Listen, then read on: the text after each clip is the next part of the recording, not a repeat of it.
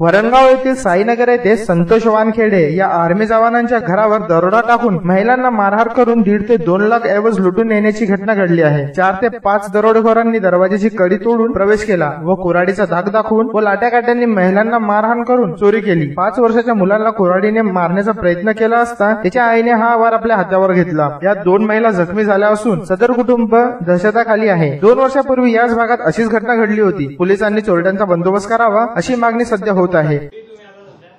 वरणगाव येथील साईनगर येथे सशस्त्र दरोडा पाडण्यात आला. आणि देशाचं संरक्षण नियुक्त असलेल्या एका जवानांच्या घरी हा दरोडा असून त्या घटना कशी घडली त्याबद्दल आम्ही त्यांच्या घरी ज्योती हे मॅडम आहेत. आपण त्यांच्याकडून जाणून घेऊ की घटना कशा पद्धतीने त्यांच्यावरती कशा पद्धतीने वार करण्यात आले आणि कोणत्या पद्धतीने हा गुन्हा घडलेला आहे.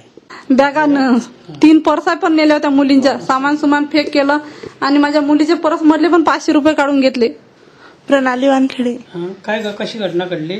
ते रात्री सहा सव्वा बारा वाजता आले आणि इथं उभे राहिले तीन तीन जण इथे उभे राहिले. एक जण तिकडे दरवाजाच होता आणि एक जण कपाट फोडत होता. मी उठली मम्मी मम्मी करायला लागली तर मला मारलं त्यांनी. मग मम्मी उठली मम्मीला मारायला सुरुवात केली आणि म्हणत गुपचाप झोपून राहा म्हणत.